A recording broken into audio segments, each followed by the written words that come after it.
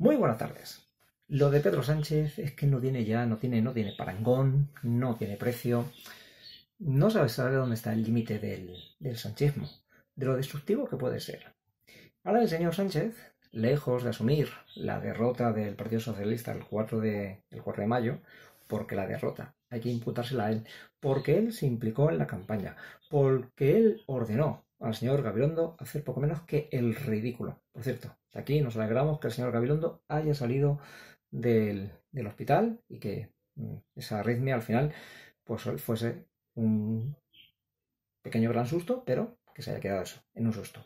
Pues bien, el señor Pedro Sánchez ahora coge y ha dedicado a, poner en marcha la, segadora y se ha liquidado a Leguina se han liquidado a Nicolás Redondo Terreros. Al propio Ángel Gabilondo le ha pedido le ha hecho llegar que no coja el acta de diputado. el señor José Manuel Franco lo ha destituido como secretario, secretario general de los socialistas madrileños. Señor Sánchez, no se equivoque. Todos estos socialistas no tienen culpa, porque ellos no han tenido nada que ver en la campaña.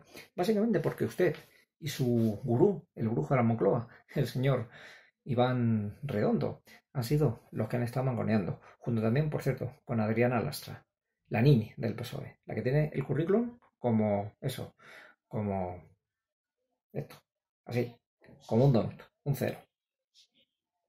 En definitiva, señor Sánchez, ¿usted qué pretende? ¿Tomar por tontos a los socialistas madrileños, a los socialistas de bien? Porque el señor Leguina hacía mucho tiempo que viene, lo viene diciendo. Ojo con Sánchez, Ojo con Sánchez. Y desgraciadamente el señor Leguina, lamentablemente, se ha quedado corto. Porque Sánchez es peligroso o no. Es lo siguiente. Es un tipo que va a acabar con el partido.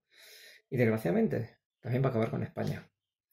Porque este, es esto, hay quien dice, no, elecciones anticipadas ahora y tal. No, no, me parece a mí que Sánchez, en cuanto empiece a ver los cálculos, va a decir, elecciones anticipadas no, que aquí me van a quitar el, poder, viendo lo que ha pasado en, Madrid. Lo que pasa en Madrid, aunque algunos dijeran que no, esto tiene una lectura muy nacional. Y por eso insisto, ahora no va a hacer elecciones. Y, es una desgracia, porque en dos años España puede ser un auténtico solar. O como decía José María García, Sánchez es tan golfo, tan golfo y tan sinvergüenza que no va a dejar ni el solar. Porque este será, venderá al mejor, al mejor postor. A Esquerra Republicana, a Bildu, a Junts per Cat, a quien sea, incluso a Teruel Alpiste, si así fuese menester. En fin, muy buenas tardes y que tengan ustedes un muy feliz viernes.